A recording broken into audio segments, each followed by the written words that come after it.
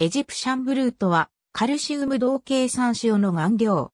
これによってもたらされた緑味の青を指す1809年頃から使われた式名、エジプト青。紀元前3000年頃から利用されており、人類最古の合成顔料の一つと考えられている。古名をカエルレウムという。またの名をエジプティックブルーという。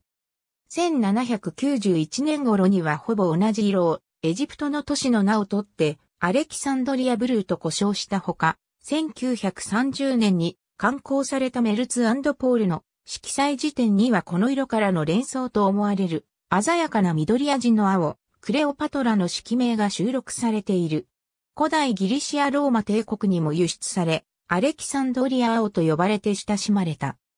エジプシャンブルーアンフォラ古代エジプト社会で広く利用されていたクジャク石などの銅鉱石に石英とアルカリ性の溶液を加えた溶液を固形化し、ここから得られるケイ酸銅カルシウムを顔料などとして使う。多塩基性、ナトリウム塩を加えて釉薬として使い、ファイアンスのビーズに塗布してラピスラズリやトルコ石の代用品とした。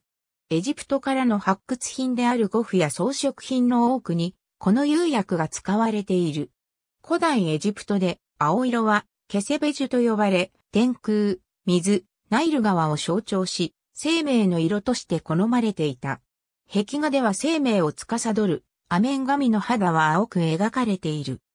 このほか、古代エジプトでは、塩白や緑章やアンチモンジオ由来の黄色顔料などの合成顔料の製造や輸出が盛んに行われており、その色材の種類は16世紀ヨーロッパとさほど変わらないほどであった。